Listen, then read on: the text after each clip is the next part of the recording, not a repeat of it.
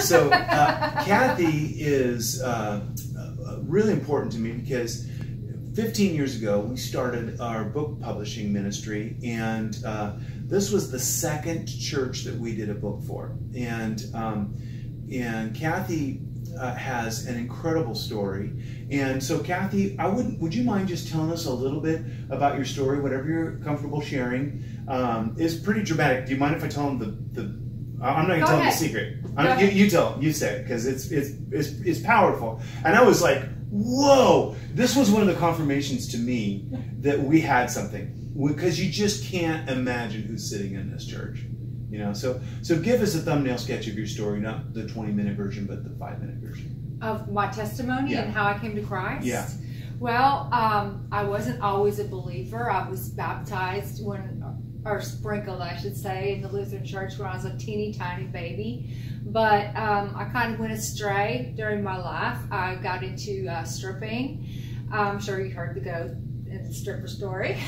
They actually haven't yet. Probably They haven't. They haven't? No, Oh, I, oh, I, goodness. I don't believe they have. So okay, sorry. But anyways, um, so anyways, um, I stripped for probably 13 years of my life. Um, running Made quite a bit of money doing that. lots of money, yeah. Uh-huh. So it's very addictive. Uh huh. The money, you know, it doesn't last long, but very addictive and Spend it very. as fast as you get it, probably. Oh yeah, you know, on dumb stuff. So, Yeah. anyways, um, I did that for 13 years of my life, and then I'd gotten into a little bit of a pickle with a car accident, and ended up in prison. So uh, what happened? You were at a bar with these guys, right? uh huh. And uh, you were the most sober of the three, right? For a while until I was drugged, Oh, you got drugged. roofied, Oh, okay. roofied. Yeah. Anyways, um, so we end up getting a, a wreck, and um, one of them died, um, and I end up in prison because it was my vehicle and um, my lifestyle seemed more expendable, I guess. And anyways, so I end up in prison, unsaved. Um, but there is where he got me, and I remember the first time when I went into the county jail and I met this lady, and she says to me, she says, uh, "What do you do with your most precious jewels?" And I'm like, "Well, I put them away. I put them in a box in my jewelry box." She says, "Well, that's what God's done to you." and so that was a different perspective, huh? yeah, You So probably I'm weren't like, exactly feeling like a jewel at that moment.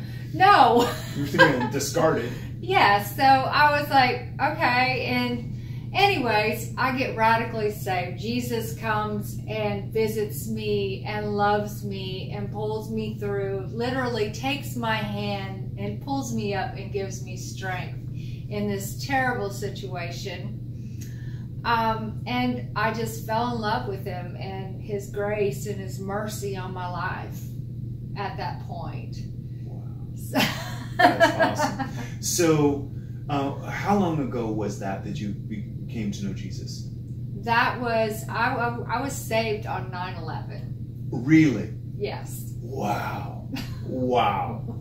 There was, was- another explosion that Yes. day. Oh yes. Yeah. I was literally saved when um you know, I saw all we saw was the the explosion of the twin towers and everything and, and at that time I'd been kind of dabbling in church and everything and um when that happened I had two young children out here in the world and I was like, Oh my gosh, what am I gonna do? Yeah. Right. And I, I was literally, outside. yes, I was literally looking for places I could crawl under the fence and escape, Yeah. which is 15 years. Yeah yeah. Right. No questions asked, 15 more years. And, Yeah. you know, that's if they don't win you or something with a gun. Yeah. But- yeah. So it was pretty tragic, pretty traumatic. Um, and that's when he just saved me. He Wow. just literally picked me up and saved me. Yeah.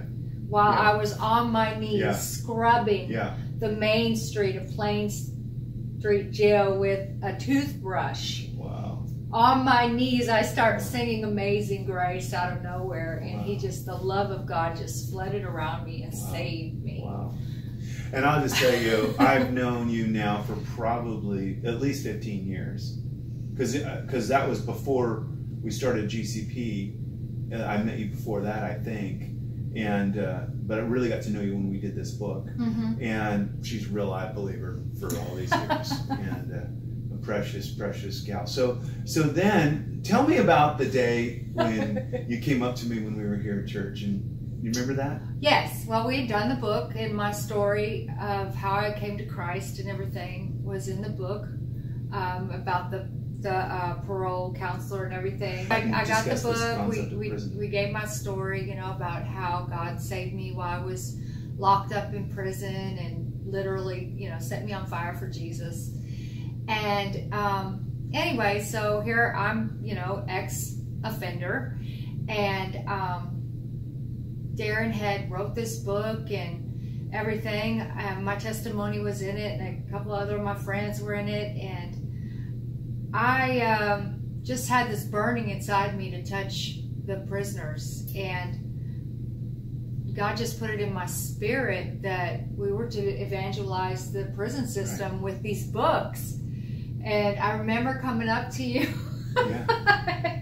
and you looking at me like I was totally crazy. Did I really? You did, like- well, honestly, here's here's where I was at. She comes up to me and she goes, "We need to get one of these books in every prison in the state of Texas." And I'm going, "I have no idea how to do that." I mean, it was just like, I mean, I couldn't even begin to think of how to do that. There's a lot of prisons in Texas. And I remember you, yeah, there's a lot of prisons in Texas. I, I couldn't have gotten them into one prison that I knew how to do. So, so you know, I, I thought, great idea. Tell me when you figure it out, you know, essentially. So, Yeah, so he basically shot me down. And sorry, might have. So I said, Well, you know, I know this is from God. Yeah. I know this is God put this Yeah. in my spirit. I didn't dream this up. Yeah. So I got some goats, you know, I had these goats. How many goats did you buy? I had three goats. Three goats. I had three goats, yes. Carmen, Esther, and Munchie. Esther was the queen. Anyways, um, I had these three goats and I'd been milking them and I could get $10 for a gallon of goat milk. So I could buy two books with one gallon of goat milk. So we took some goat milk money and we took some truck money from Ono's truck building and we ordered our first order of books. And I think I don't I'm not sure how much we bought at the first I think it was like twelve hundred dollars, two thousand dollars, something I like think that it was like two thousand dollars. something like that. Anyway, Yeah. so we got a bunch of books. Yeah. And I just started off by sending three books to each prison. So each time we'd buy books, we'd send three to each prison. And all the prisons, uh, the chaplains accepted the books, they wanted the books, and only one did not want the books out of 118 chaplains. Wow. And so Wow. we started doing that. now chaplains don't have a lot of money like in their budget to like buy stuff. Do no, that you got to give them everything. Yeah. Yeah. You do. Right. Right. Which is totally fine as far as I'm concerned, but that made these books kind of valuable to them, probably. Oh, very valuable, and they love the books because these books, you know, you can hand them to an to an offender that doesn't believe in God Yeah. or doesn't know Jesus, Yeah. and they read this book Yeah. and they want to know who Jesus is, and it's like sneaky Jesus. Right, right. It is. It's like sneaky Jesus because they read and they get all involved in the story, Right. and then they're like, "Oh wow, who is this Jesus? Can Yeah, he do that yeah, for me too?" Yeah, yeah. And so anyway, when I'd send the books, I'd always put in a little insert for my ministry and uh, tell them they were welcome to write into the ministry and and you know just ask for prayer and all that. So I'd get on my little computer and I'd you know answer you know questions about the Lord and that built my relationship with God because I was constantly researching Yeah, and digging into the Word of God to help these guys Right. and these girls answer these questions right. about God. Yeah. And that's how we all started. Wow. Wow. And that's how the book ministry started. And And we've shipped tens of thousands of books to these prisons. hmm yes, It's pretty amazing. yes. So she comes up to me and, and we're visiting one time when I was speaking here at this church, and uh, uh, I think I was the one who said, I think I'm going to put a button on my website. I don't think you asked for that. You were just saying, hey, how can we do this? better. we were looking for a way, yeah, just ideas. You know, I mean, three goats is a great start, but yeah, we needed more. yeah. So we had a lot of prisoners that could use book, these books, and uh, so I was going to put a button on my website, basically a donation button, and, and people could donate to it. And uh, um, and she called me up. She goes, "Hey, Daren, did you get that button on your website?" And I happened to be driving down the road to a church in Southern Oregon to do a meeting, and I'm feeling terrible. Like, oh, I'm so sorry, I did not get that button up, and you know, failure, whoops. And uh, I'm driving down the road, and it just, I had the time to think. I think is what it was. You know, I'm driving down the road, and I'm praying, and I'm thinking, and I went to a church, and uh, I shared about books behind bars, and I don't think we even had a name for it yet, and uh, um, and people responded, and it was really beautiful, and we started shipping a lot of books, hmm and uh, I remember you calling me. yeah. You were crying. Yeah. You said, "Oh my God, the Holy Ghost just came all over me. yeah, We need to do this." yeah, and uh, um, and since then you've gotten a lot of letters, haven't you? Lots of letters, a lot of guys, you know, saying, please, you know, can you send my friend a book? Or please, can you send my wife a book? She's at home and I'm Yeah. locked up here. And Yeah. could you just send her one of your books to encourage her Yeah. and just help her, you know, because the books are just filled with so many different stories that, you know, so many different people can relate to so many things God's done in these books. Amen. They just touch so many people. Amen.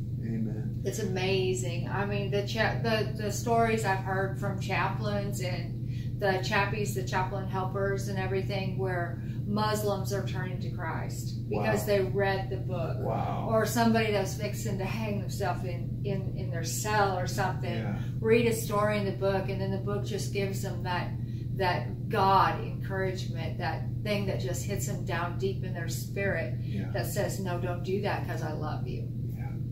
Awesome things. Yeah. Well, Cathy, I just want to say thank you from the bottom of my heart. Uh, what a blessing you are to me and the kingdom and that vision that God gave you. And she's been faithful for years now to get books into prison and uh, championed this cause and worked all the relationships with the chaplains. And uh, we're so blessed to know you and to be your friend. And we're praying, and I, I hope you'll pray about joining with us to get thousands of books into these prisons. It is the best fishing ground in the universe. And uh, I mean, these guys are and gals are lost, they're alone, they're rejected.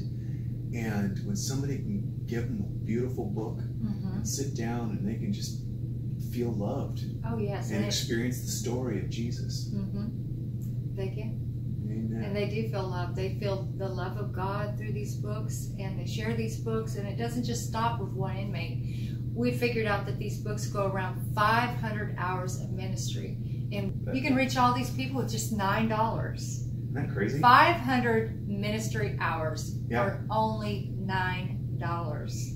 These books just get read and read, and they literally get read until they fall apart. They do. I've had testimony where, oh, I found this book and it's all tattered and torn sitting on a bathroom wall and I picked it up and thank you, Jesus, I did because it saved my life. Yeah, Yeah. we've got those kind of stories. We do. So I don't know if you've heard this one, but uh, one time we were, uh, I was just visiting with a pastor in Baker City, and one of the books had gotten into the Walla Walla Penitentiary, and they'd been in lockdown for three weeks.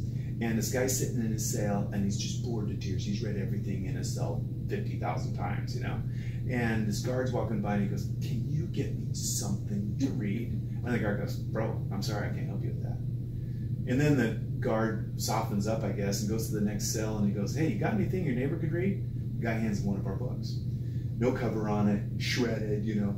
He takes the book, he sits down, and he starts crying. He starts reading the book and he starts crying. He said, I cried through the whole book hmm and prayed the prayer at the end, gave my heart to Jesus, and I've been born again. That's awesome. you know. That's so awesome. But I know you know many, many, many That's more stories awesome. than that. But it's just fun what Jesus has done. Cathy, thank you so much for visiting with us, and I just wanted you guys to meet the lady that this all started with. And you're you're a precious treasure in the kingdom, and she's been living for Jesus for a long time now, and I think she's going full speed ahead. Where else would we go? Amen. all right, thanks, Cathy. You're welcome, and thank you for letting me be a part of this and blessing me. And I just want to know what's next. Me too. Amen. Well, How are we going to crank this up a notch? Amen.